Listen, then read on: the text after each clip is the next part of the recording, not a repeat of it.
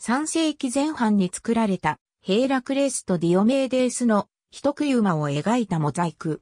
スペイン・マドリードの国立考古学博物館所蔵。ヘーラクレースが創建したと伝えられるアブデーラ氏のサイモン跡。ディオメーデースの人食い馬はギリシア神話に登場する怪物的な馬である。トラーキアのビストーン人の王、ディオメーデースが飼っていた牝馬であり、人を食らい、獰猛かつ巨大であった。ヒュギーヌスによると、人食い馬は4頭おり、それぞれポダルゴス、ラムポーム、クサントス、ディーノスという名前であり、また一説によると、シーシュポスのこのグラウコスを噛み殺したのと同じ馬であった。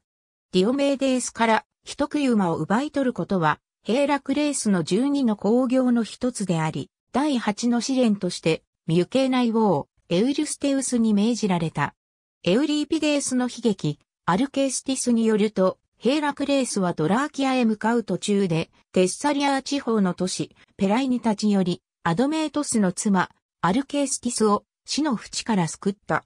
アポロドーロスによると、ヘーラクレースは大勢の人間を率いて、トラーキアまで航海し、人食い馬を世話していた者たちを力でねじ伏せて、馬を連れ出し、海岸に引いていった。そこへ、ディオメーデース王が、ビストーン人を率いて、人食い馬を取り戻すために追ってきたので、ヘーラクレースは馬を、従者の少年、アブデーロスに守らせた。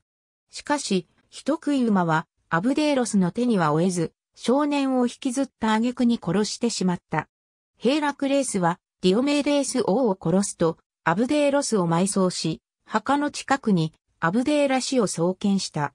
その後、ヘーラクレースは、人食い馬をエウリステウスに与えた。エウリステウスが馬を野に放ったところ、オリュムポス山で野獣に殺された。シケリアのディオドロスによると、人食い馬は、気性が荒く、壊れないようにブロンズ製の貝羽桶が当てがわれ、馬が怪力で引きちぎることがないように鉄の鎖で繋がれていた。また餌は、ディオメーデース王の客として、王宮を訪れた違法人を噛み殺して、食らうように王に教え込まれていた。そこでヘーラクレースは王自身を馬に食わせて、凶暴な馬を落ち着かせた。